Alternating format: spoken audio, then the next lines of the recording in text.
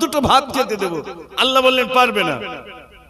নবী সুলাইমানেরই কথা শুনে আল্লাহ বলেন ওরে সম্ভব নহে। খেতে দিতে পারবে না। কেন? আমার কত যে সৃষ্টি তোমার পড়ে না দৃষ্টি তোমার দাওয়াতে হবে তুরুটি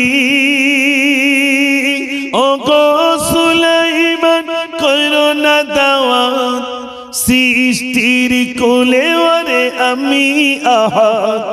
পারবে না? নবী সুলাইমান বলছে, আল্লাহ এত টাকার মালিক আমি খেতে দিতে পারব না। সত্তরটা উট সিন্ধুকের চাবি বয়ে নিয়ে যায়। বলি শোনো না হজরতি আলীর ঘটনা। একটি ছেলে কাঞ্চে বসে মদিনাবাসী তার চেনে না। মদিনার মানুষ চেনে না বাচ্চাটি কাঁদছে। মদিনাবাসী ছুটে এলো ও গো ছেলে, তুমি বলো না কাঞ্চ তুমি এমন করে কি বেদনা? শোনাও না, কোথা গতি আজ এসোছ তুমি? তোমার নাম কি বলল না?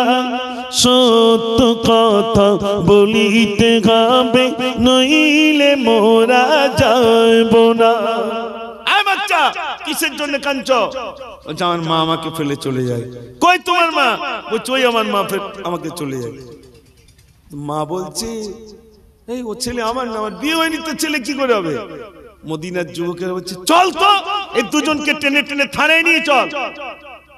পেটাই দিলে দেখবি শিকার যাবে। জোয়ার নেমে এসেছে সাকসা পুকুরে যুবক বিদে খুশি এসেছে আজ কি যেন, ও আজ কি যেন খুশির জোয়ার নেমে নারী থাকবে। ওই খাতাটাতে নিয়ে এসো তাড়াতাড়ি? টাকার গজলগুলো হবে খুব জোরের গজল ইনশাআল্লাহ। একটা গজল শোনাবো? পনেরো মিনিটে একটা গজল। ইনশাল্লাহ আমি শোনাবো সেই গজল। যে গজল শোনেননি সেই গজল শোনাবো ইনশাল্লাহ এতদিন উত্তর চব্বিশ পরগনার মানুষের প্রচুর শুনিয়েছি। আমি দক্ষিণ চব্বিশ পরগনার মানুষের কিছু শোনাবো ইনশাল্লাহ রাজি আছেন তো ইনশাল্লাহ আর একবার সবাই যুবক মিলে, সবাই মিলে সবাই মিলে একটু আল্লাহর নাম জোরে নেন। আজকে বিরিয়ানির ব্যবস্থা আছে নাকি? মাশাআল্লাহ। আমি প্রথমে যেখানে ছিলাম, সেখানেও বিরিয়ানি, এখানেও বিরিয়ানি। সব জায়গায় বিরিয়ানি। এখন মনে করুন আপনাদের এখানে এসেছি, জিজ্ঞেস করছি, ভাই, কি রান্না করেছেন? হুজুর, বিরিয়ানি করেছি। আলহামদুলিল্লাহ নিয়ে আসি। তো প্রথমে এক বালতি এনেছেন বলি, এক বালতি কি হবে? আরও আনো। কতটা খাবে রে? তো দু চার বালতি এনেছেন আমি বলছি আরও আনো তো চাই চল যে কটা হাঁড়ি রান্না হয়েছে সব নিয়ে চল একটা বাঁশ নিয়ে চল। খেতে না পারলে টাইট করব এখন আমি মুজফ্ফর এসেছি। আপনার মনে করুন দু দুহাড়ি বিরিয়ানি করে বোঝানোর জন্য। আমি গালটা হা করেছি দু দুহাড়ি বিরিয়ানি ঢেলে দিয়েছেন। আমি টপ করে গিলে নিয়ে চলে গেলাম। আপনারা বলবেন বাড়িতে যখন যাবেন মায়েরা জিজ্ঞেস করে তাবারুক কোথায়? বলে চৈতল থেকে এক হাঁ করে এসেছিল একে গালে বেরিয়ে দিয়ে বাড়ি চলে গেছি বলবেন না বলবেন? বলবেন। আমার ভাই তো বিরানির গজল শোনাবে ইনশাল্লাহ আপনাদের আমাদের আর আল্লাহ কতটা টাকা দিয়েছে? নবী সুলাইমান আলী ইসলাম টাকা দিয়েছিলেন। সত্তরটা উট সিন্ধুকের চাবি বয়ে নিয়ে যেত। কত টাকার মালিক? নবী সুলাইমান একদিন আল্লাহর কাছে বলছে আল্লাহ ও গো আল্লাহ আমি তুলি দুটি হাত তোমার সৃষ্টির দেব দুটি ভাত কি খেতে দেবেন ভাই? ভাত খেতে দেবেন কবুল করো খোদা মোর মোনাজাত। আমি সুলাইমান করব দাওয়াত। ও গো আল্লাহ আমি তুলি দুটি হাত। তোমার সৃষ্টির দেব দুটি ভাত। দুটো ভাত খেতে দেবো। আল্লাহ বললেন পারবে না। নবী সুলাইমানেরই কথা শুনে আল্লাহ বলেন ওরে সম্ভব নহে। খেতে দিতে পারবে না। কেন? আমার কত যে সৃষ্টি তোমার পড়ে না দৃষ্টি তোমার দাওয়াতে হবে তুরুটি ও গো সুলাইমান করো না দাওয়াত। সৃষ্টির কোলে ওরে আমি আহা। পারবে না? নবী সুলাইমান বলছে আল্লাহ এত টাকার মালিক আমি খেতে দিতে পারব না সত্তরটা উট সিন্ধুকের চাবি বয়ে নিয়ে যায়। আল্লাহ বলছে না পারবে না। নবী সুলাইমান আল্লাহর কাছে আল্লাহ একদিন দিতে হবে না এক শ্বাস দেন। হয় দুপুর বেলা নইলে রাতের বেলা। আল্লাহ অনুমতি দিচ্ছেন উপরে আসেন। অনুমতি সুলাইমান তোমায় দিলাম। খানা পাকাও তুমি যাবে মেহমান সমুদ্রের পাশে বিরাট ময়দান তক্তি উড়িতেছে নবী সুলাইমান একটা তক্তা দিয়েছেন রান্না বান্না হচ্ছে। তো ওই সমুদ্রের চরে রান্না হচ্ছে, ছ মাস ধরে রান্না হচ্ছে। হঠাৎ একটা কুটুম এসেছে। এক মেঘে মানলো, বললে, খিদে মোর পেল। নবী সুলাইমান, কোথায় মোর বলো নবী সুলাইমান, তুমি আমায় খেতে দাও। ও গো নবী, আমি খুদাই ও নবী সুলাইমান খিদে পেয়েছে তাড়াতাড়ি করে খেতে দেন। নবী সুলাইমান বলছে বিনা দাউতে আসুনি তো?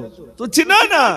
খোদার দিশে আমি এসেছি দাওয়াত করে চমদে আমি শুনেছি সবার আগে গো খেতে দাও আমায় মৎস্য মেঘে মান বলছি তোমার কুটুম কে ভাই?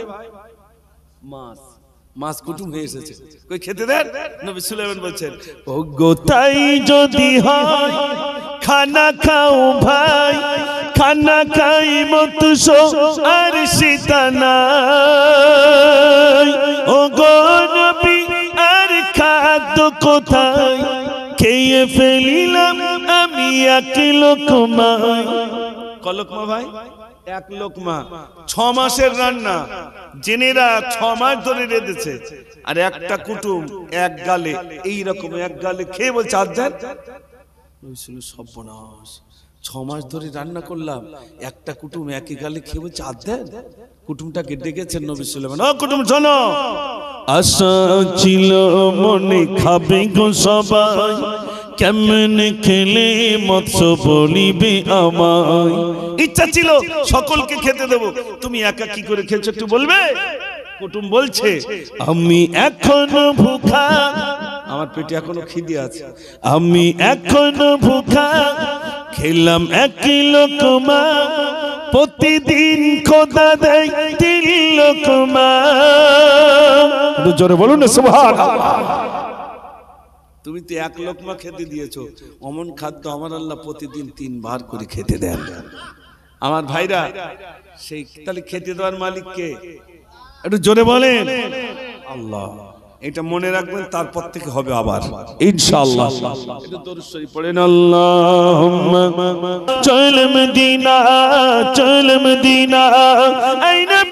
লাও সালাম আমি গোনগর। তোমারই আশিক আমি লাও গো আজীবন খবর তোমায় বলতে পারি না, তুমি যে খোদার দিবানা আখি দেখি মদিনা। আখি দেখি মদিনা, চল মদিনা চল মদিনা চল মদিনা চল মদিনা। নারে তাকবীর মাশাআল্লাহ। গজলটা যে আপনাদের কাছে আমি লিখিত ভাবে দিয়েছি, গরিবের চোখের পানি ফেলে আমি টাকা ইনকাম করতে চাই না। এখানে অনেক ভাইরা আপনারা আছেন, অনেক দুস্থ, অসহায় রয়েছেন, তারা এই চ্যানেল থেকে দুটো পয়সা ইনকাম করেন। আর আমার এটা যদি কপিরাইট খায় তাহলে একটা ক্ষতি হয়ে যাবে, তাই তো? তবে আপনার যদি কোনো প্রবলেম হয়, আমাকে বলবেন, আমি চেষ্টা করব। তবে তার আসতে বলেছি, আমার দরকার নেই, কোনো গরিবের চোখের পানি ফেলে আমি দুটো পয়সা ইনকাম করব এটা আমার দরকার নেই। অতএব, আলহামদুলিল্লাহ, আমি চেষ্টা করছি এটাকে কেটে দেওয়ার জন্য। আমরা, আমাদের উত্তর চব্বিশ, আরও যারা শিল্পী আছে, এটাকে দূর করার জন্য, আমরা জানতাম না তো, হঠাৎ এটা এসে গেছে। তো যাই হোক, সেটা আমি পরে ইনশাল্লাহ আপনাদের কাছে ফোনে ফোনে বলা হবে।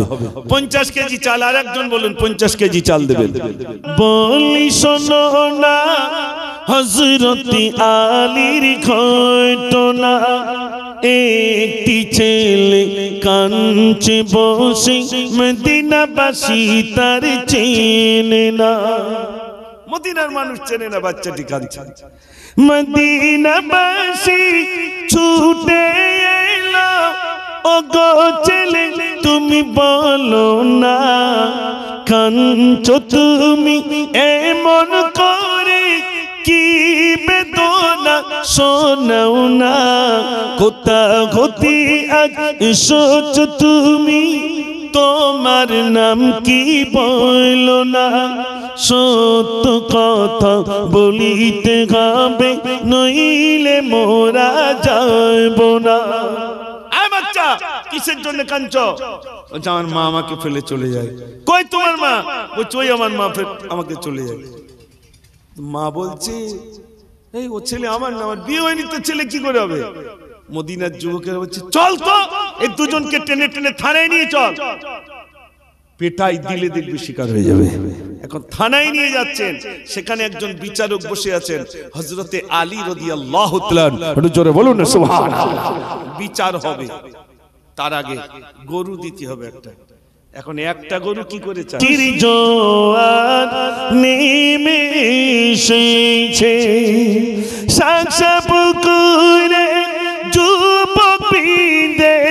খুশি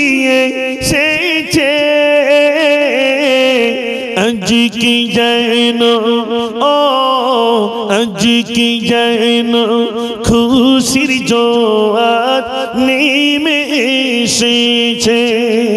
নারী থাকবে। বলেন। মন্টু মোল্লা মন্টু মোল্লা। ও সন্টু মোল্লা? কই সন্টু মোল্লা? একটু হাত তোলো না। এই তো, মাশাআল্লাহ। আর মইনুর মোল্লা? মাশাআল্লাহ। শামসুল মোল্লা? নেই? আচ্ছা আচ্ছা। তিনজন আছে আর একজন। চারজন মিলে বলছে, আমরা একটা গরু দেব। আপনার খুশি না বেজা? আসল কথা কি জানেন ওই রাস্তায় এক লোক এক পোটলালে আর একটা কুকুরলে বসে রয়েছে। আর ও শুধু কাঁদছে আর কুকুরটা শুয়ে পড়ে হাঁপাচ্ছে। তা সবাই জিজ্ঞেস করে, ভাই, কাঁদছো কেন? বলে, আমার এই কুকুরটা মরে যাচ্ছে।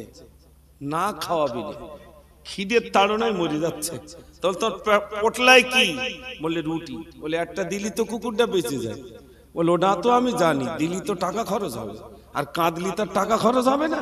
এই জন্য বসে বসে কাঁদতিস তা মাল ছাড়বো না। বুঝতে পারেন ভাই? মাল ছাড়বো না কাঁদ